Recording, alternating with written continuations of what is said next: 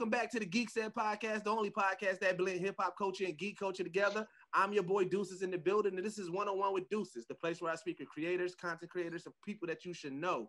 And right now, man, I am truly, truly excited for those who have been listening to the podcast. Y'all know how much I love the Flash. Y'all know how much I love the show. And I am speaking with somebody who is now a main cast member, but I'm speaking with the one and only Brandon McKnight. How are you doing, brother? I'm doing good, brother. Thank you so much for having me on. So I asked everybody, man, how has COVID been treating you, man? COVID, uh, you know, it's funny. I've, I've, I've, I've, talked about this a lot with a lot of other people, and I feel like whenever I think about COVID and the whole quarantine thing, I feel like I'm coming kind of from a from a privileged position because I know there's a lot of people going through it, right. and I'm privileged in the sense that before the lockdown happened, I had finished shooting. I think it was like three episodes. Okay. Um, before everything shut down, so I had a little bit of money in my pocket. And as well i'm just i'm an introvert. I'm as introverted as introverts get. So somebody told me oh we got to stay inside. You can't see or talk to nobody. I was like this is a dream. This is this is this is a fantasy. I'm, I'm with this. I'm cool. So so it's been it's been it's been there's a lot of self-awareness that i've gained during this time. A lot of uh, i started meditating on a regular. Has become a very big part of my life um, there's just a lot of growth a lot of internal growth it's the type of growth that i really love. Um, and just like even even like experiencing my family in a different way and and how you talk to people is different. Creating connections without actually being in the same room as people. That is a skill that we've all built. Yeah. because a year ago me hopping on a zoom with you that would seem like inconvenient. Watching the news and seeing two people not like actually interviewing each other being in the same room that'd be weird like why aren't they there but now it's just such a regular thing so I feel like the way we've had to communicate and stuff like that has had to change. And I've noticed myself being an introvert, being a lot more open mm-hmm. to communicating with people in this way. Yep. And uh, yeah, yeah, just a lot of growth, a lot of growth, man, in the best way. That's dope that you like dove into meditation because you got to think about it. It's like with this being such a a change in so much, like you need that space where you can kind of decompress and things like that. Yeah, man as black men, we don't necessarily do that. Like we are so we are so inclined to be the strong person and deal with our own stuff on our own that we don't take yeah. to, to check into that. So that's really dope that you dove into. Yeah. Yeah, and that's something that I've like I've had that same thought. And you had one of my brothers on the show not too long ago, Lovell Adams Gray. Yeah. And one thing we always talk about is how important it is as black men to learn these spiritual practices and to actually practice them because you know i mean we don't have to go through it you already know the amount of years that we've been going through what we're going through at this point that stuff is in our bone marrow yeah. the traumas and the and the and the anger and the and then we still got to watch tv and watch the news and see somebody that look like us bleeding out on the street or getting choked out on the street. So to deal with those things it's not just about expressing yourself and and doing what you can for the cause. It's also about taking care of yourself internally. Because what better way to break somebody down if they have no strong foundation inside of themselves? Yeah. You feel me? So um, uh, meditation, um, I'm, I'm, creating a better relationship with God.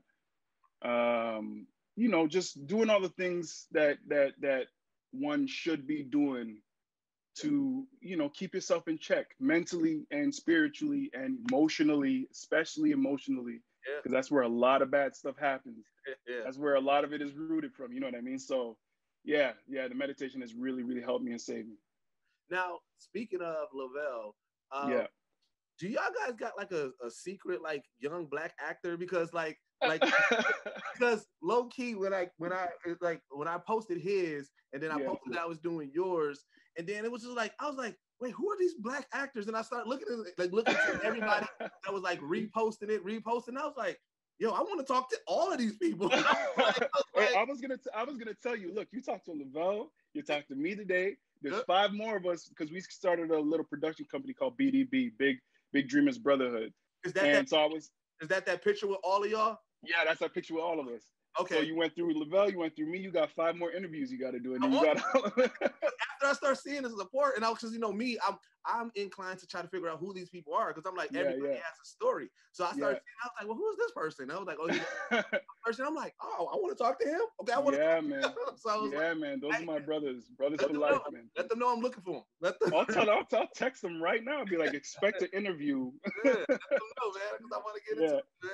Um, yeah, So I on this platform, I'm big about giving people their flowers, right? So my introduction to you, just in general, um, was the Flash, you know, Right. um, and I thought that the role was so. It was like it was one of those. It was meta, but it was dope because it was like Chester's P. Runk, this take of him, you know, like um, doing like the video, you know. So it's kind of like like yeah, yeah, YouTube, you know, aspect, doing the video yeah, yeah. Twitch kind of thing. Twitch Yeah, type of thing. Um, and I thought that was so dope. But it's like in this world, in this space of being a black just hero character in general, just in Yeah. general, it's like it's really dope to have that um that representation in there and things like that. So um we'll start off with the flash with you. Like when you got that flash, like that role, that call, that audition to go into that flash, what was your preparation to that role? it's funny. Like, I remember I still have the the self tape on my on my computer. I got that through a tape, so I just sent in a tape, and I found out maybe like three, four weeks later. And the preparation, like when I read it, here's the thing. First, before I even answer this question, let me just give you a shout out because I think your show is brilliant for what you guys are doing and and mating the whole geek culture and hip hop culture together as like what you say in your intro and stuff like that. These are two cultures that early on when I was growing up, they were separate. You know what I mean? You couldn't be cool and hip hop and also a geek. You know what I mean? You you you you're, you're cool in hip hop at school, and then you go home and you watch your anime in secret, and you don't talk about it. You know what I mean? So kudos to you for doing that. And that's kind of how I felt when I read Chester. I was like, oh, here's this here's this young black man who, and he's a grown man. Chester's 28, 29. You know what I mean? He's a grown man who who is as nerdy as nerd can be. Brilliant, absolutely brilliant. Able to make you able to do the things NASA does in his garage Right. with junk. Um, socially awkward.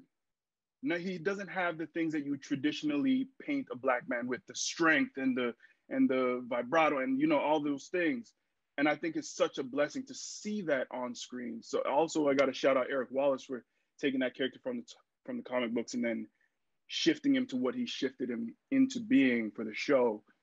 Um, because it's just a brilliant thing. He's just this adorable kid. He's like a fan of the show who's on the show. Yeah. You know what I mean? Yeah. So, and you don't really get to see those qualities in a lot of black men on screen. So it's a privilege and an honor to be able to play that. And I'm very much so like that. I'm a I'm I'm a big geek.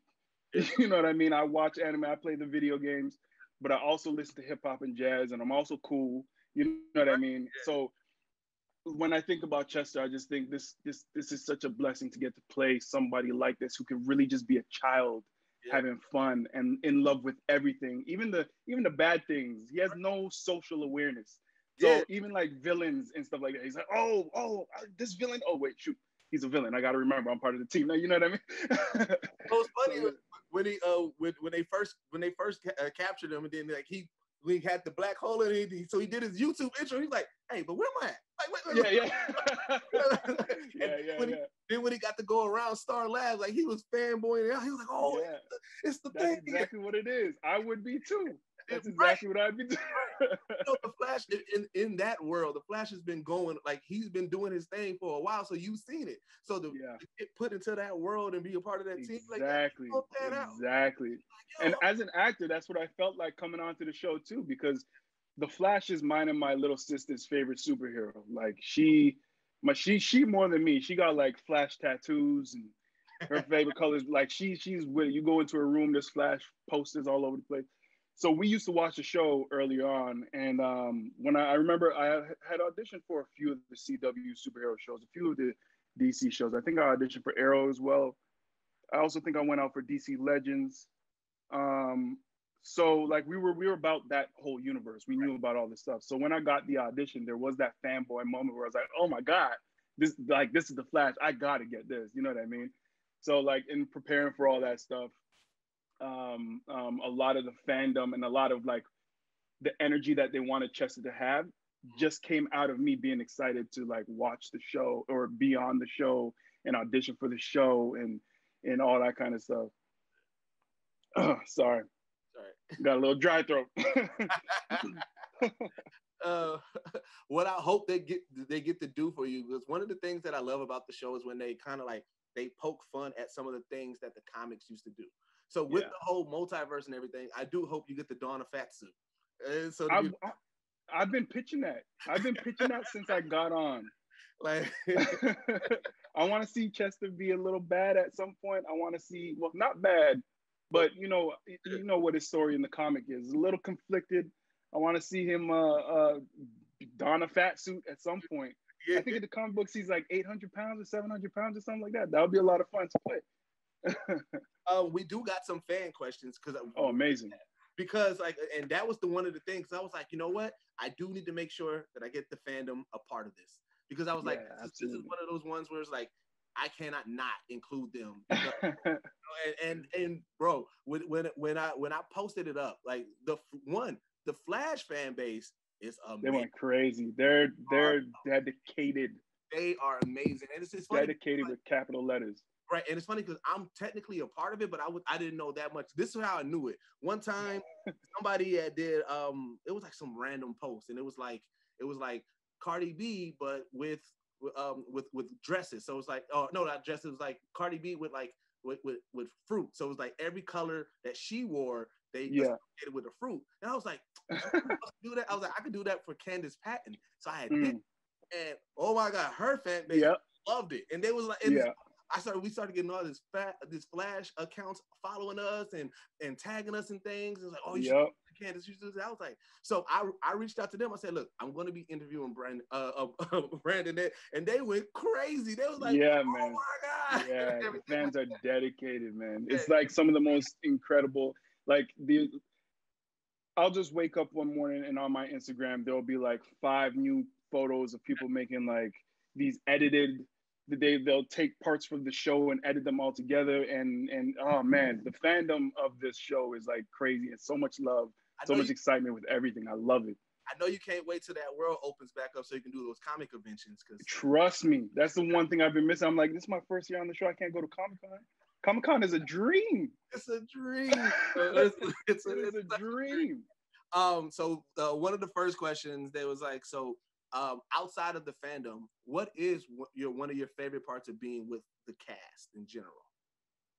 It's honestly how down to earth everybody is.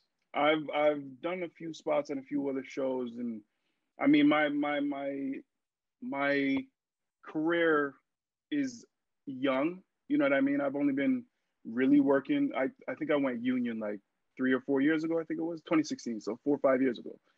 Um, so I've really only been doing this, doing this for about five years. And I've been on many sets, and this is one of the most comfortable sets I've been on. Um, everybody, just every, from the cast to the crew, everybody's just very down to earth, very easy to talk to, very nice. Yeah. And you know, you got this super successful show that's been going on for seven years. They don't have to be. You know what I mean? That's one thing I've learned a lot in this industry is that when people get to a certain level of success, they don't necessarily have to be. And sometimes, sometimes it's better for a person. And what I've been learning, sometimes it's better for a person to not be completely open. And because you know, there's a lot of toxic energy in this industry as well. You know what I mean? So you have to be a little guarded. And that I don't feel any of that on this show. Um, I remember one of my first days. I think it was my first day of first episode yeah, it, no, it wasn't my first day, but it was first episode where uh, I'm doing the whole Twitch thing, okay. and I had done that, and this is before I really got to meet anybody. Um, no, this is after I met everybody, but all the throughout the rest of the episode, I was just like in a coma the whole time, so I didn't really work with anybody. I was just there, and then I was like, you know what I mean? but w- the day that I actually got to do my my my monologue and stuff like that, I had done it, and then I think I had one more day that was like five days after that and I came to set, and Candice was actually the first person who was like, "Look, they showed us your monologue, that little thing you did in your garage. That was amazing. That was so good." And she just gave me all these compliments, and everybody that saw me after that had nothing but great things to say. Nobody has to do that, right? You know what I mean? And that's not something that happens all the time and very often. And then every time I came back, like they just included me in everything. It was like joining this family, you know what I mean? And they they welcomed me with open arms.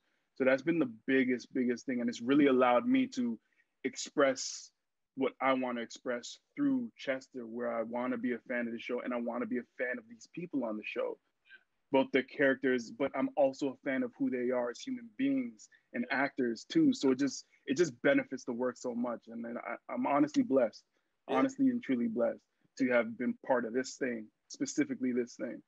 What makes it dope is that you are the bar now for that character. You are the first live action True. version of that character. So it's like no matter like with how successful that you have been with it, everybody after is going to be compared to you, and that's to me mm. that's a dope feeling because um I didn't even think about that. You blowing my head up now. well, it's funny because like um like same thing with like you know um I, one of the people that I got a chance to interview was Jovian Wade, so he played mm. uh you know Cyborg in Doom yeah. Patrol, and yeah. that was one of the things I was telling. I was like, when you think about like you have a lot of voice actors who played it, but it was like when you look at the live action, it was him, it was Ray Fisher, you know, yeah. you know, so it was like, you know, like you like you guys are being that first, that, and it was like it's dope because you guys are doing it at such a dope level. Yeah, um, yeah.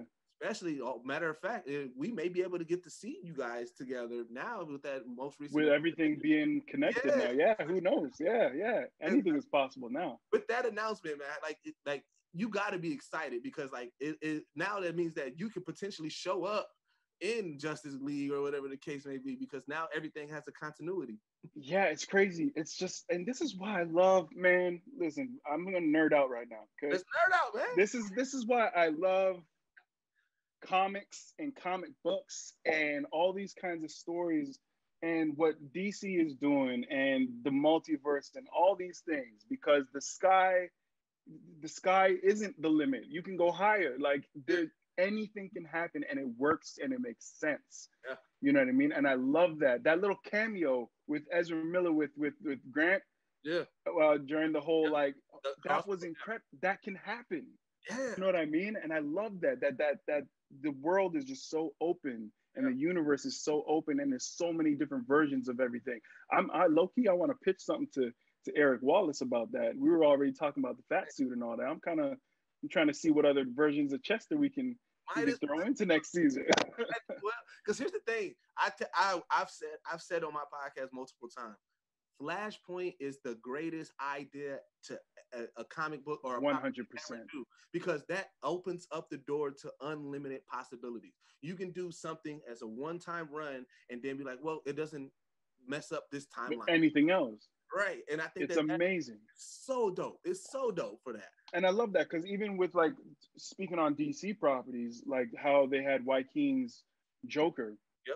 And now, uh, from what I'm hearing, they're doing the whole Snyder cut, which I'm really excited about.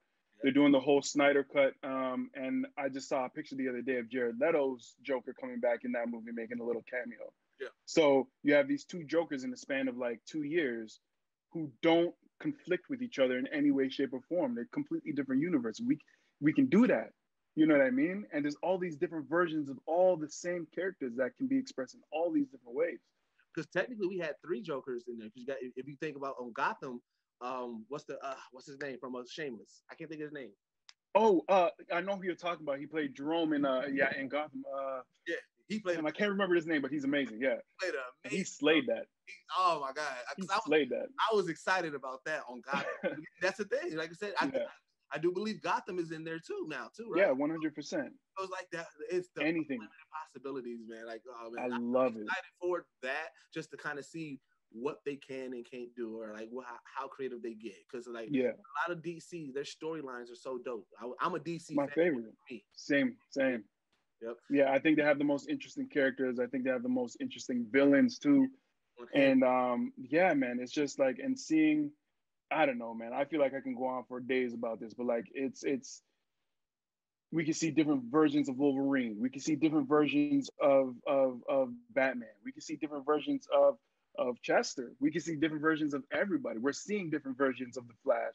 You know what I mean? It's just uh, it's there's there's there's no limit at all. Yeah. It's my favorite thing. yeah, no, it got it got to be an amazing feeling to be a part of that. Uh, another yeah. question that they asked. Um, um, so with the role expanding, is Chester going to get a love interest? And is Chester going to get a love interest? And will it be with Allegra? is that some people are, are asking about for real? Apparently so. that was, that was, a direct question. here's, here's what I'll say. Chester, there's going to be a lot of developments for this season for Chester. And I'm really excited for everybody to see it. I've been very excited doing it, and we're not even done yet. I think we're only shooting the 10th episode right now. So got quite a few more to go. And just seeing the growth that he's growing through and seeing the developments, not just not just his developments in Star Labs, but his developments as a human being and as a person. You know what I mean? We're gonna learn a lot, and I'm still learning a lot about Chester. So um, I'm gonna say to that question, wait and see. Wait and see. You're gonna have to watch and watch and see what happens. Said, but said we're not, he's not gonna give up too much about the next season. No, no, no, no, no, no, no, no. I'm trying to keep my job. Tom Holland out, you know. Tom, yeah. he the one that lets it go. I just read off. Oh yeah, this is him. I should I should read a script to you guys. Let me just read this. but yeah, no, there's gonna be a lot of great developments for Chester, and I'm so excited to see how everybody how everybody uh how everybody likes it and enjoys it. I've been enjoying it. So um yeah, a lot of new stuff. That's what, what I'll that's what I'll say. A lot of new stuff what got me excited for the character when they announced that they expanded his role because it was that that last scene that we did see where where Chester was like he thought that he messed everything up, so he kind yeah. of you know he didn't belong or flat, and mm-hmm. you know it was that whole that whole arc, that whole episode. So like that's where you really got like a good sense of who Chester is, because you know yeah. to the point it was like oh he's just a fanboy, but it was like no he wants to do right, but yeah oh, he's over analyzing things. He's yeah. doing things that he thinks is messing up. So like you, by the end of that episode, you get oh he, he what his purpose is, and you he's a value member, and it's like yeah, oh I want to see this now. I want to see more of this because yeah, like, yeah, that was a, a pivotal moment in that character arc. Absolutely, and there's so many there's so many conflicts with Chester in that in that moment, and there will be moments in the future as well where because you know Chester is a pacifist at the end of the day with everything. He doesn't want to want to fight. He doesn't want to create violence. So especially if he does something that causes more trouble, that's something that sits very deeply with him. I remember one of the things that uh that Eric told me early on with Chester is that he's the smartest person in every room he walks in, but he doesn't know it. And he's the most empathetic person in the room and he doesn't know it. You know what I mean? So it's always for him, he's just excited about life and excited about expressing that but when he does create issues or does create conflict or isn't liked those things really sit very deep with him so that moment where you know that whole Grodd episode where he left because he was like i caused this this is my fault for him to come back and overcome that is a very big thing for him yeah. you know what i mean and that's not something that he's really had to do much in his life which you guys will come to see what chester's life is and what his life uh, was and where he comes from and where all of that comes from, where the where the pacifist side of him comes from and where the excitement of him comes from. Um, yeah, yeah, yeah. That was that was a big moment. There's more moments like that for Chester for sure. Oh, dope. For sure. Did I forget the clacker out there? I'm just gonna uh, clap. You have brought it. Too. I know. I'm just gonna clap. I'm mad because I was definitely expecting you to get it. I mean, I could quickly go grab it. Just hit. Just clap. One, two, three. All right, all right, all right, all right, all right, all right, all right, all right, all right, man. All right, all right, all right, man. Welcome back to the Geekset Podcast, the only podcast that blend hip hop culture and geek culture together. I'm your boy Deuces. I'm your boy Deuces. I'm your boy Deuces in the building. With me, I got my man Liv. What up? It's oh Liberace. It's the Puerto Rican Santa.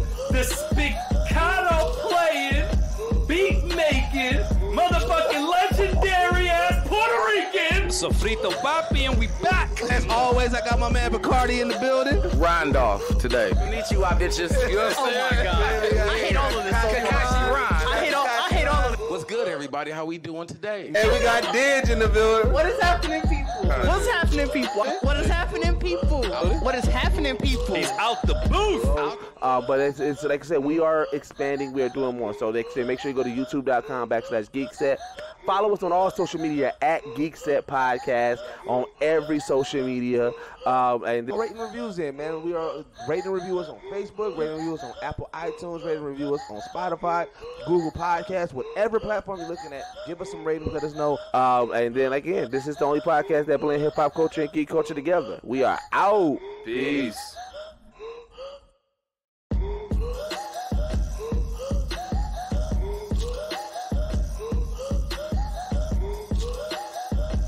So let's switch gears a little bit because uh, Mhm. so you did say that like technically you've been doing this for five years.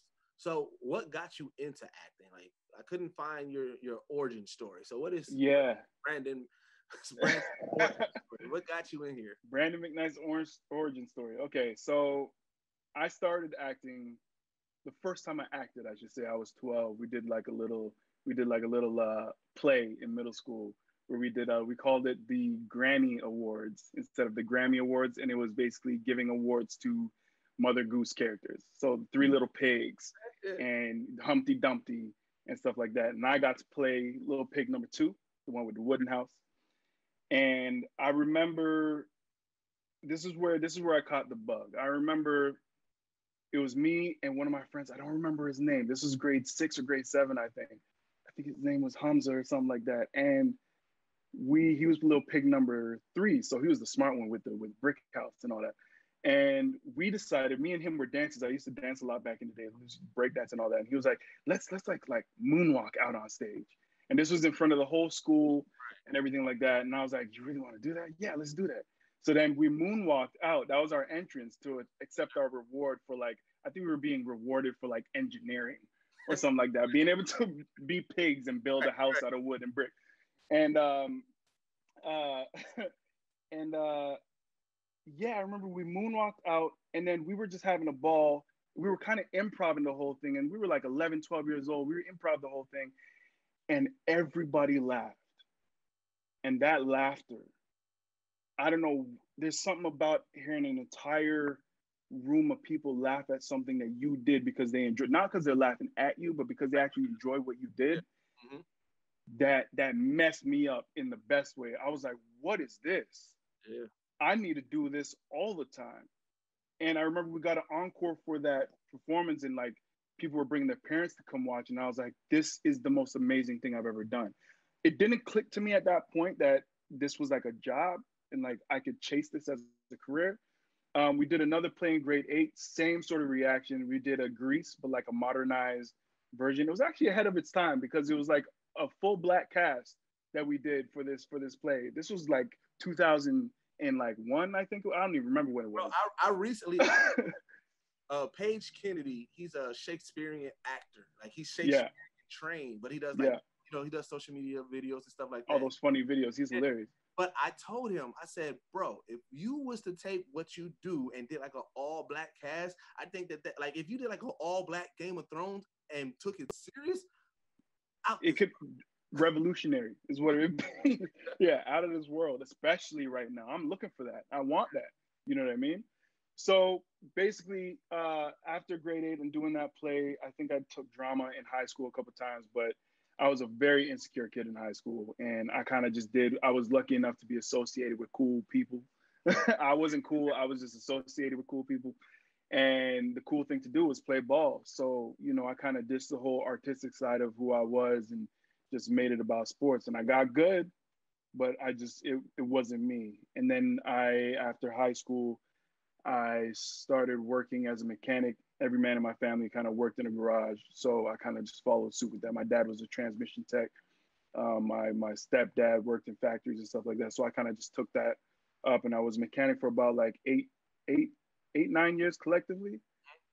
And early on, I realized very, very early on, actually, I realized this is not what I wanted to do for the rest of my life at all. Same thing, I was good at it, but it just it what it didn't serve me. It didn't do anything for the spirit. So I kind of I literally woke up one day and was like, you know, I've always been thinking about this acting thing. I'm gonna just do this. I'm gonna just figure this out. However, I gotta figure it out. This is it's the first time in my life I think I ever made a real decision for myself. I think I was like 21, 22. I had no idea what the industry was, didn't know anything. I remember I joined my first agency. I found them on Craigslist. and they charged me money I didn't have to get headshots and you know one of those scam. I I had to figure out so many things and I made so many mistakes. Yeah, I guess so. Everybody where like you paid something and then when you look back at it, like, why did I pay for Why that? did I pay that? I did, how did I even come up with the money to pay for that back then? Like, yeah, and I just I just figured it out from there, and you know I started to. At first, it was just learning what the industry was and learning how do I get an audition? How do I meet casting directors? What is a casting director? You know what I mean?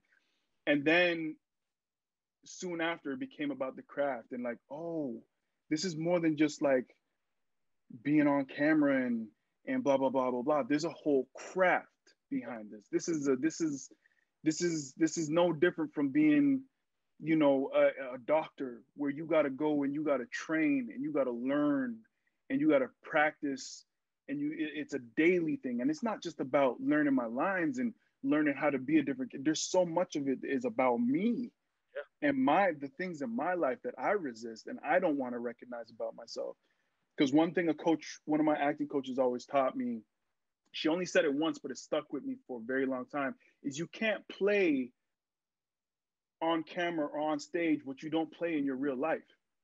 You know what i mean? You're not going to be able to just cry and break down on stage if you don't let yourself do that in real life. You know what i mean? And i fell in love with that part of it and that was you know and that was part of the self growth thing that has that came to what this year was when i was going back to me talking about meditation and self growth that like oh i fell in love with that part of it more than i fell in love with the business because it's i don't know who i would be right now without without acting. So it's been a full a full like few decades of this thing developing and changing and me ignoring it and then realizing i kind of want this and then diving full blown into it and now i don't know what i would be without it No, that's that's dope. that's my acting story That is- that's the acting origin story. But that's dope because you know what? So one of the things that I wanted to touch on, there's a few points that you made, but um, yeah so I do music, and one of the things that really drove me to music, it's similar to what you.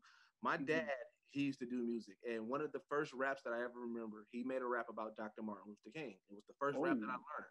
word So I used to at every Black History program perform it, and I remember nice third grade rapping this song yeah it and the crowd going crazy. And again, same thing. I just fell in love with that, not thinking it's Mhm. not really thinking it was at that point. I was just every Black History program. Oh, I know, I got something. My dad does. I got this Black History rap about Martin Luther King. yeah yeah Funny thing about that rap, And I didn't realize- but well, I didn't realize it until I was older, and I was like, why didn't know the teachers or my parents tell me that? So my dad, of course, we know the Martin Luther King story. yeah So in the rap, he says, "Some sucker crack cracker tried to kill the king, put a bullet through the head of Dr. Martin Luther King." So here I am, third grade, fourth grade, fifth grade. I'm talking about every year on stage in front of the whole school rapping this. that Some sucker crack cracker try to kill the king. I'm like, now that I'm older, I'm like, I, I shouldn't have been saying that. I should not have been saying that. you got all your teachers in school like oh But nobody said anything. that's hilarious it's, it's the, that is hilarious It's by far the like when I think about it, I'm like, man, I was doing this every Black History program. I- and then, you know, you know how it is when you're doing school Yeah. programs. yeah yeah You practice it and practice it and practice. yeah It. So it's like at no at, at not at at no one- point nobody said nothing to you that's hilarious Hey man, you probably shouldn't have been saying that. but it was like, that's a bit i love that but it, it is like like I understand that how you how that stage reaction gets you because that oh kind of man it's like electricity yeah, it fuels you so much. And then like when I Mhm. back, like when I tell like again when I look back onto my story, I think about it, I'm like, man, you know what? Because like I do consider myself an extrovert, you know. But I was like, word a lot of that. My dad was in the military, so I, I- we moved around a lot. But I was like, a lot Mhm. of that comes from like those type of moments. I caught that bug being comfortable in front of people because yeah that it was like I can do this, and it was like it was one of those things that kind of fueled me so much into life. So it was like hmm that. And then another point that I wanted to touch on that I thought was dope that you brought up was how like you were doing, you were a mechanic for you said about eight years. A lot yeah people get lost in that, and then they think, ah, well, you know what? I mean, I, it's it's a little bit too late for me to try to chase this dream now. Yeah And I've been a huge advocate for people telling like, fam, chase your dream. Like I don't chase that don't let nobody put their timetable onto you. Yeah, know, yeah, Yeah. for sure. I, I feel like I feel like I was blessed with a little bit of I can never say this word naivete. I was naive Mhm. and I was blessed with a certain level of stupidity in a way where I never listened to anybody. Um, and I don't contribute that to me being smart or me being, you know, a go-getter or anything. I was just, I just didn't, I just didn't, it's not even a matter of didn't compute it. I was, to me, it was like, this is what I want to do. So I, I have to do it. You know what I mean? There were so many days where people would tell me that, where they would be like, bro, like acting, that's something you got to start when you're young. That's something you you have this full-time job, you're doing this. And there's like, okay, between the eight years, there were many times where I quit my job to go work other jobs because I had to go to an audition. And my boss was like, sorry, we can't let you. And I was like, all right, cool, I'm out. Yeah. And I had like no money in my bank account. Really dumb decisions, not good life choices. But and I've done that so many. There's I remember there's this one job where I worked and I worked there for three days. And I told the manager in the interview, I was like, I'm an actor, so sometimes I'll have to peace out to go to an audition, but I'll be right back. It only takes about an hour. They're like, okay, yeah, we can accommodate that sometimes. And lo and behold, the, the, the day I get that job, all of a sudden I have like three or four auditions in the span of like two days, which rarely happened for me at the time. And it started to become a problem. Three days into that job, I was like, if you're not gonna let me go, I'm sorry, I gotta go. You know what I mean? I've done that so many times. Not good choices. Right. but you know, it's one of those things where it's like if you really want to do something, you got to do it. And on top of that, I had the reminder every day that I was at work how much I didn't want to be there. Yeah. And you know, I, I I guess I'm just lucky enough to be perceptive enough to how I feel inside to have made those decisions because I really don't like sitting in a spot that don't sit right with my spirit. it don't sit right with my soul. I just I know it's not for me. So um and at the time I didn't recognize it as that. But uh yeah, yeah, that's something that a lot of people told me growing up or going through this whole thing is like you probably shouldn't be doing this like it's family as well and that's the hardest thing when family's telling you that stuff. And you know, I come from a very blue collar rural Jamaican family where it's, you know, it's God and work. Yeah. You know what I mean? You God and work. You go to church, you go to work, you come home, take care of the family, you go to bed, you do it all over again. And so for me to like not have a job at times, or for me to chase this thing that that wasn't Yeah. concrete and didn't make any sense, you know, it was years before I booked my small, my first little commercial. I got paid a hundred dollars for this little commercial that I did, and I was like dancing. It was this little commercial for uh, they have this festival called Taste of the Danforth in Toronto, and they had me dancing and and it took up until that commercial before my mom was like, "Okay, I see my son on TV. Okay, hey, what you like calling it? Hey, my boy on TV, and then my dance on TV. Go watch him go." And all that stuff that came after she actually saw it. So before that, it was all no. You need to go find a job, and you need to go do this. And it was every day I was hearing this stuff from work and from family, and it's just you know you got to put the earplugs on at some point and kind of just just just hustle through it. Yeah. you know it's it's it's funny because um that family aspect of it i think as a creative everybody goes through that i told you like i did music and for the longest like my parents they never really necessarily like they didn't discourage it but it wasn't like a like a like a, a It wasn't real. yeah it wasn't Yeah. real and i remember when it did get real um like um i had put out this album called my unapologetic black thoughts and it's literally just i'm a more conscious rapper so it's literally about like what's going on Can I find that? I want to hear that. yeah, definitely, definitely, you can. Where's I- that at? On Spotify or? Yeah, it's on, uh, it's, uh, Oh, um, my, my stage name is Young Deuces, but it's called My Unapologetic Black Thoughts. I'm gonna look that up. It was received well, and this is where my dad, or the first time that I heard my dad tell somebody that, "Oh yeah, my son, he makes music," and I was like, "Oh, snap. That's a beautiful feeling. and it was it, what it was is um one of the songs I referenced The Rock, and I just remember I was just on Twitter, just you know what I'm saying, and I was like reflecting on that year, the year that I put it out, and I was like, Mhm. one of the moments that I did, I, I appreciated it was this line. It meant so much to me, and then where I where it blew my mind, The Rock. Not only did he like it and retweet it, he quoted the whole bar. So he was like, Wait, Rock heard my music, and then so Crazy. yeah, and so my dad, when he saw that, it was, you know, my dad, he's a big, he like he loves ballers and stuff like that. Yeah, So yeah, I think that that was the moment that it was like, oh, this is real because yeah. real people are seeing that or hearing it. it So, like it and was liking it. and it was like it was different moments. Like even um when I put it out, um Sway's Universe, he reported on it.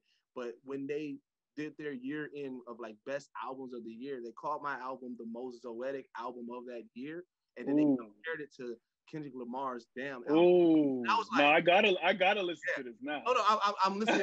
I, I stand by it. Anytime somebody wants to get into my music, this is I said this is a good start. This is to let you know who I am as a person. It's a mixture of spoken word and that type of music, but it's like it's one of the things that I when I do my music, um, this is what I was like, I want to have a story with the album. Like some of my favorite albums, when you Yeah. listen to it, it takes you on a It's a whole story from Yeah, beginning to end. Yeah. So with this album, the journey that I and which I was skeptical because I was like, I hope people get it because Yeah. that that fight that we're fighting that we deal with like it can seem like pure anger and i was Yeah. like yes, i display that but i was like when you listen to the song it go uh, when you listen to the album it goes from anger then it goes from we need peace to how do we come together? But it also talks about interracial issues. So it talks about you know us condemning people that are fighting for us that are our, our own complexion. Talks about that 100%. light skin versus dark. It, it talks about all of that. It was- Everything. it was a dope it was a dope thing for me. So i, I was like i mean i hope people get that message. And the fact Yeah. that got it. And i was like oh this is dope. So it was like yeah That's amazing, bro. Definitely, And what a cosign to get. man If anybody's gonna co-sign anything you do for Dwayne the Rock Johnson, oh i call i listen i, I that, that tweet it's in it's in it's in uh it's it's in my signature from my email like like no this print it out, put it in your room. this was. That's Um, amazing. so how was it so one of the big things that you did got a chance to you got a chance to be a part of the shape of water which was Yeah, yeah. huge movie like it like just that whole That was my first. That was my first real thing. That's the thing that made me like a union actor. oh okay That's where it started for me. Yeah, yep i mean Guillermo del toro like like yeah. how was it working on that movie It was amazing, man. Like that was like I said, that's my first one. So it was nothing but nerves throughout the whole thing. man, I remember. Oh, I have so many stories about that. Uh, meeting Octavia Spencer and working with her was, and then seeing the way Michael Shannon. And this is when I, like I was talking about craft before. This is when I really started to discover what the craft was, and then I got this this gig and and seeing the craft at its highest level Mhm. being being worked. Like completely i mean i feel like that was placed in front of me and i'm i'm i'm always happy about that. Every time the eve of my first day on that i always post it on my instagram or somewhere on my facebook or something because that that really changed the game for me.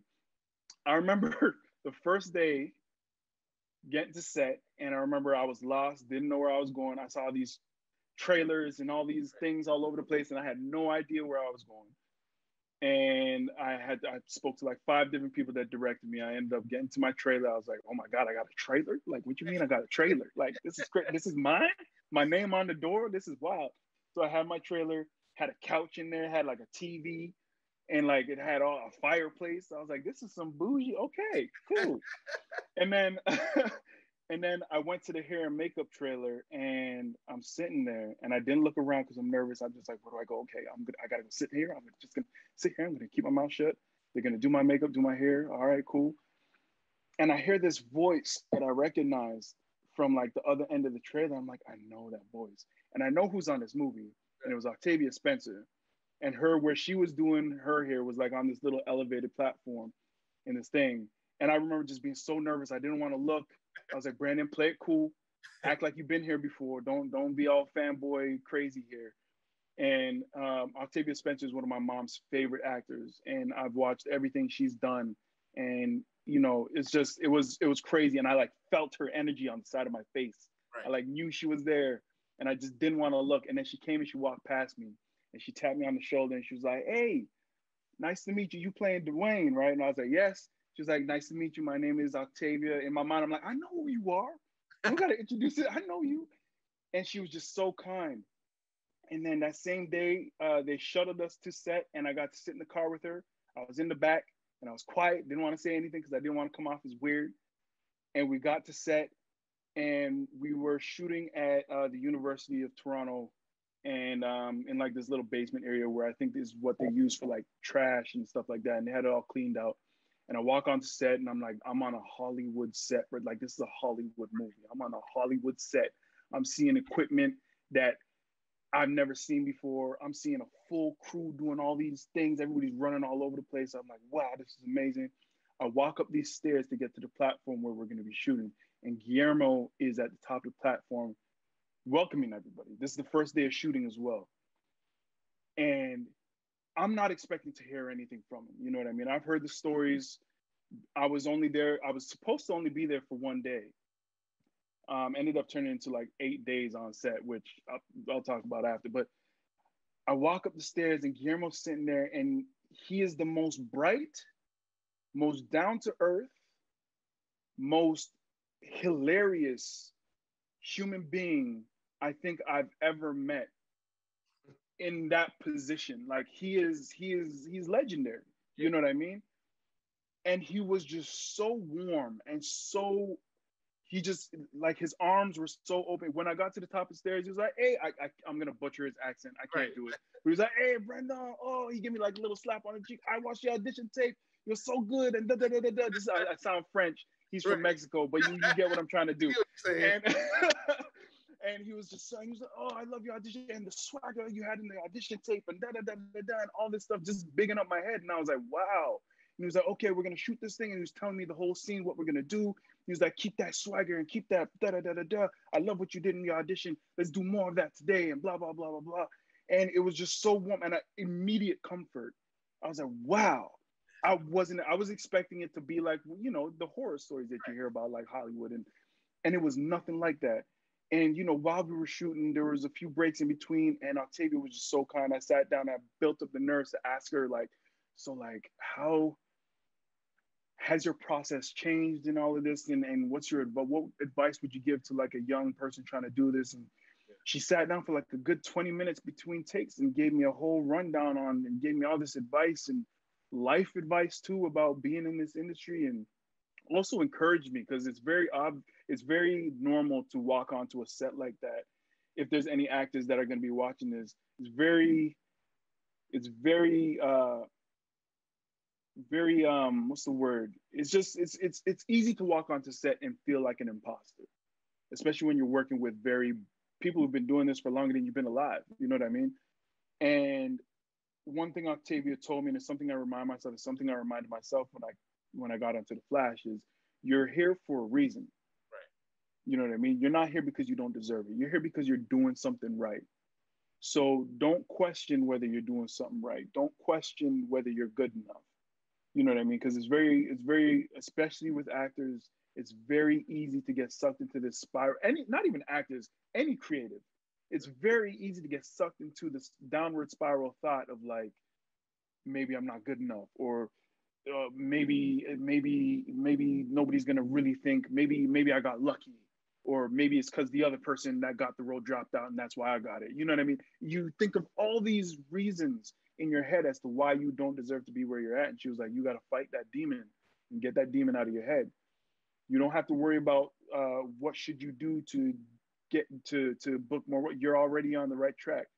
And you know the fact that you're here, the fact that you're doing what you're doing, the fact that you know you sitting beside me and able to ask me these questions is a big thing. And I really like that. That that is something that I carry with me, and that's one of my biggest things that I took from that set is just I'm here for a reason. I tried to carry that energy with me throughout that entire time. And that one day turned into eight days. Guillermo just kept bringing me back. Yes. And I was able to pay my bills, overdue bills from that from that movie. So that movie was a blessing. Changed my life for sure. For sure.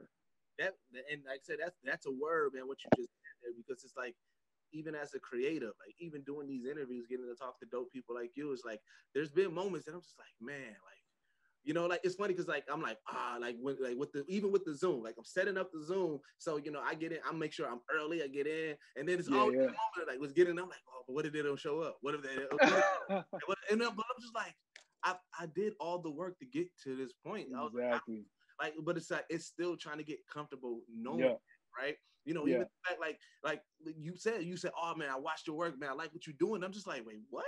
Like, Yeah, bro. Hey. like it's like it's it's still it's, it's that moment like I don't expect you to do the research. I expect that I got to do this whole spill. Let me tell you Yeah. who I am. And you're like, well, no, no, I, I don't know, bro. I I, I, I like, watched this. Yeah, yeah, yeah. yeah, yeah. so it's like it's it's Yeah. that's that is a that is just a good advice just in general because it's like Word. It's no matter what you're doing, you got to think about it. even if it, take it to sports, you know, you you make it to the league, you know, you may think oh, I'm, I'm getting on this team, oh, you know, I'm I'm gonna just do, I'm, I'm I, I- you know, I'm gonna make sure that I don't get off this team. And it's like, no, you did it to get to this point. Exactly. You are here for a reason. That Yeah. somebody saw something and said, we need you.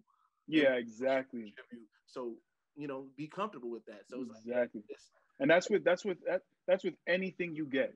Yeah. No matter how big, no matter how small, you got to celebrate the fact that you did that. You know what I mean? Any creative, whether it's in music, whether it's in whether it's with sports, Yeah. you did, especially with it when it's with sports. You know how many people are good at sports yeah, on this continent? You know how many people are crazy good yeah, running for two hours a day? I can't run for 10 minutes. You know what I mean? Some people that are so good at what they're doing, and you were chosen to be in the position in the position that you're in. It's like that in itself. It's also good to keep that energy though, because that's that kind of keeps you hungry. It keeps you thr like thriving to do more and stuff like that. But Gotta have a balance. exactly, exactly, exactly. you did say um, that you also are into anime, which that I didn't know because I couldn't find. Hundred percent. Which um, what what anime like? I guess what animes are your animes like? what the ones that you are into? Right now, the best show I think. Oh, you know what? I was about to say something that isn't completely true. I was gonna say the best show I think I ever watched was Attack on Titan, and Attack on Titan is I think Attack on Titan is one of the most well written shows, anime or not. I don't care what you're comparing it to. That is one of the most well written pieces of content I think I've ever watched, and I'm trying to get my girl to watch it. I'm trying to get everybody to watch it because if once you get over and there's a lot of and for people that don't watch anime it's like it's getting over the cartoon aspect of it and it's getting over the the typical anime tropes like the weird jokes Yeah. and you know what i mean once you get once you get through that and you can actually see the story Mhm. attack on titan is one of the most brilliant things but my hero academia Yep. boku no hero has my soul right now i don't think i've ever cried so much watching a fucking cart i don't know if i can cuss i'm sorry I probably shouldn't cuss. can't. Okay, cool. I don't think I've ever cried so much watching a uh, uh, a fracking, this little thing from The Flash, watching a fracking cartoon in my life. And so I, I right now I'll say that My Hero Academia is number one. Uh, Attack on Titan is a very, very, very close number two. Um, but the show that's legendary for me and the show that got me into anime was Naruto all day. I will I will rewatch Naruto till the day I die. I tell people all the time because you know the so the big battle is always between Naruto and Dragon Ball Z. So yeah, Dragon Ball Z is my number one. However, I tell, word. I tell people all the time. I said Naruto is the more emotional one to get you. Like, there's no emotion really in Dragon Ball Z. It's just pure. It's just good fights. good It's fights. just good fights. But Naruto, like, like it's, it, it's literally you know, man, is somebody cutting onions around here? Cause uh, yeah, trust me. And the music when the Bro. music hit, man, bro, bro, like, I'm telling you. And then there's moments, there's moments that happen that like super hype you up, and like the way they built that story is so good. Like when Madara came back, Man.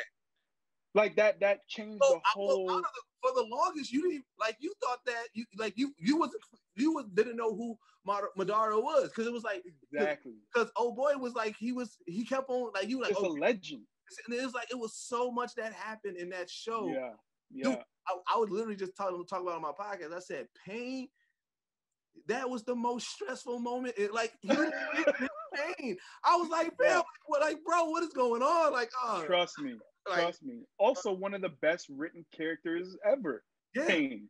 Oh, like that that is that is one of those situations where it's like you you you relate to the villain more than you relate to the the protagonist because everything he was saying was straight facts it's like i get it destroy the village. I understand, bro. Well, I get it. That's the thing. They first they make you hate him because what he did to Jiraiya. So you Yeah. hate him at first, and then when the big thing of the village, you're like, "Ah, I don't want to. Ah. that's that's the reaction. It's like, ah, man. that's the reaction. It's like, why do I like this guy, bro? Right. It was Yeah, so yeah. stressful watching that Yeah. that battle and that fight. Like, oh my god, bro! But you know what's funny? We, we we talk about it on on the podcast a lot. One of the things about like so, anime is always going to give you some fan service. Like it's Yeah. you can't get. Always. But we said the reason why it's always bad is because when somebody who when somebody who's not like let's say you watch an anime right now, right? Yeah. You trying to get your girl into it, so she's not Yeah. watching it, right? So you Yeah. watching it, and then like it's this big battle. So it's a lot going on. So Yeah. then when the chick finally comes in and be like, "What you watching?" And then it's the fan service scene. You're like, "Wait, Yeah, no." yeah.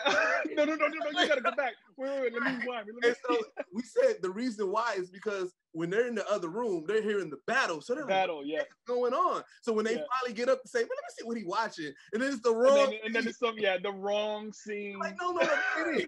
Yeah, somebody bending over or some Right. crazy. Like, yeah, yeah, it's somewhere. Yeah, always, always. There's been so many moments, especially in My Hero Academia. With uh, I forgot his name, the kid with the balls on his yeah, head, yeah, always oh, just being a perv. yeah. and, and yeah, yeah. Every time, every time he's on the screen doing some creepy something, that's when my girl walks. She's like, "What are you watching? Like, what Right. is?" No, you, you missed this whole dialogue. You- exactly. like, he- like, why are you crying watching this dude like try to squeak? Like, what are you doing? I'm like, no, no, babe, it's a scene before. I swear. right. That's the same thing with like Seven Deadly Sins. Seven Deadly Sins is such a good anime. Yeah, Creep. so it's like yeah, yeah, yeah, you missed his work. Like he has the whole thing. yeah, yeah. This is the end. It's supposed to be the light thing after the dark thing. This is why they. No, you just. Right. yeah, yeah. No, yeah. No, I love, I love, I love that stuff, man. Yeah. Um, before, right, literally right before our interview, I was just interviewing uh, King Vader. I don't know if you're familiar with him. King Vader, that sounds mad familiar. He does like the Hood Naruto videos and everything. Oh yeah, yeah, yeah, yeah, yeah, yeah, yeah, yeah, yeah, So, yeah. and we was, and that's what we was talking about. I was like, the one thing that I love in today's world right now, and which is extremely excited that now, like I said, I we learned that about you because, and one of the reasons why I created this platform, because you got to think when you're on your promo run, for the most part, you're going to be talking about like your acting, you're going to be talking about the Flash, but like One hundred a lot of people don't probably don't even know. Like, like I remember this is my first time knowing that you were into anime.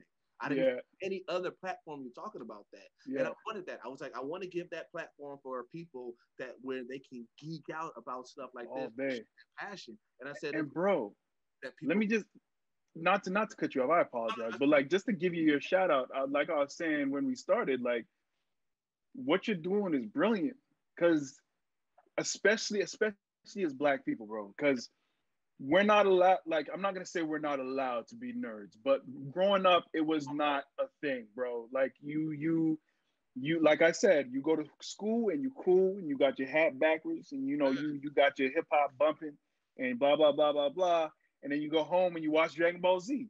right. You know what I mean? And you don't talk about it. And you and you watch your Naruto and you don't talk about it. Or you play Final Fantasy and you don't Right. go to school and talk about it. You know what I mean? And and it's it's there's been an awakening in black geekdom is what I'll call it.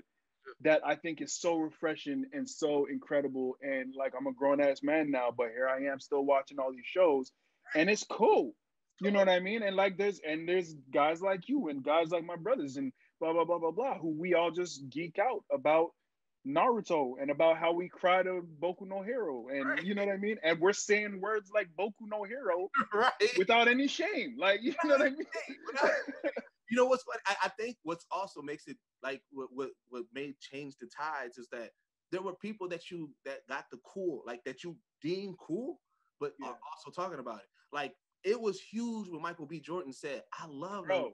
revolutionized. Like, and, it, and it was it, it was literally like people like, wait, what? Like there's people that was confused about it, but it was Yeah. like us like, yes, Yes, yes, yes. I get it, yeah.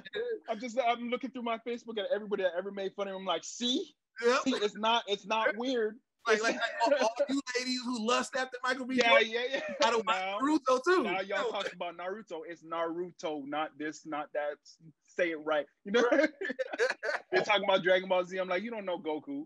right, nah, nah. Gotta join the train now. Yeah, You, ain't, you ain't see it when he when, when he did when he wasn't Super Saiyan. He was just yeah. You, Kaioken. Like you didn't see that. you, you weren't there for the four episodes it took for him to go Super Saiyan that first time. him screaming for four episodes straight. You wasn't there for that. you don't know about that. You don't know about that. All right. yeah, man. Well, one of the last things that we do is we do what we call a recommendation. So it could be something that you're reading, you're watching, you're listening to, Mm. something that you think that our our viewers, our listeners, should, listeners should dive into into or check out. Okay. Um I feel like there's a few things I could say. Number one, there's oh my god, I don't remember the the the author right now. His name is slipping me, but there's a book I'm reading called The Prophet. Um and it's a very dense book. It's a small book, but it's very dense. Um, and it's one of those books where you got to read the page a few times before you move to the next. Okay. Because it's a book of just straight lessons. It's basically about a dude who's leaving his town and the townsfolk are asking him advice because he's never going to come back, type of thing. And it's advice that he's gotten from God. I think that's what it is. Is, it, Um, is it- is it by uh, Kahlil Gibran? yes, yes, yes. And it's it's I haven't finished the book yet. The book is maybe I don't even think it's 100 pages, but I haven't finished it yet because you got to take your time when you read it. And it's just it's so many lessons and it's not written in like contemporary English. It's written very metaphorically, very poetically, which makes it also difficult to read, which is why but there's no way to talk about the things that he's talking about and really nailing hitting the nail on the head without speaking in metaphor. You know what I mean? So um, I'd recommend that. And I'd recommend everybody just listen to a little more jazz in their life. I'm, I'm, I'm listening to this one guy right now named uh, Ashley Henry. I think he's from the UK. I haven't done much research on him, but his music is knocking me out. And I'm a big jazz guy. I just bought a saxophone like two days ago to get back into it. And I think, and that's my kick right now. That's the thing that I would, maybe it's just because I'm on a spiritual Right. quarantine kick right now that all this stuff is hitting me in very different ways. Check out your Miles Davis. Make sure you know him. Um, there's also a dude named Yussef Kamaal, I think, who's also out of the UK, who, you know, just these jazz brothers who are really, really, really doing big things. So those are my recommendations. Food for the soul. You know what's dope is that I've been doing. So I started this March of uh, in March of last year during the quarantine. That's when I started this interview series that I've been doing. Right. Word. Um, and almost I would say probably eh, maybe 95% of the black people that I um that I interview recommended books. And for me, I think that that is just so dope because That's powerful. right, it's it- it's like it- it's like a Powerful. statement that is saying because it's like hmm oh, they like uh, people often say things like oh you know we don't read often but I'm just like That ain't true, man. creative they're they're recommending books and I said Mhm. that is so dope to me. And I was like, Yeah. like it kind of it continues on that trend. Like I, I, I think that is that is super duper dope, man. Dope, dope. Yeah. I So- think that's so powerful. Where can my people find you, man? You can find me on Instagram. I'm not super on the Twitter, but you can find me on Instagram at Mr. McKnight. Um, that's kind of the only thing you can find me on the Flash, March 2nd. Uh-huh. Uh, yeah, that's kind of the only social that I'm doing right now. Oh, hey, I'm thinking of starting up with this Twitch channel because I also play a lot of video games. So I'm Right now. hopefully within. I'm playing right now. I'm playing uh, Ghost of Tsushima, which Love is it. knocking me out. Yeah. I haven't I haven't dived and lost myself in a game like that in a minute. I'm also playing Call of Duty, which is why I think I'm gonna start to switch. I'm really bad at it. um, but that's why I think the Twitch will be fun. Just see me fail terribly playing that game. Um, I'm also halfway. I don't even know if I'm halfway through, but I'm kind of sort of off and on playing Breath of the Wild. That's just that's a huge game, and I do want to get back to it. Um, but yeah, that's what I'm playing right now. Dope, dope, dope. You know Yeah, what? yeah. Is like when I was when I because I I try to make sure I do good enough of research, and I was going off Yeah. a lot of the Instagram, and then literally today I was like, is this his Twitter? And I was like, and I was going on it. you know what? I did, and it was like, okay, this is his Twitter because it was like I can tell. I did mean to ask you. So the Blair Witch really scared you? bro. The Blair Witch, bro. When I watched the Blair Witch, the first time, because I've heard about the Blair Witch so much, and I was never okay.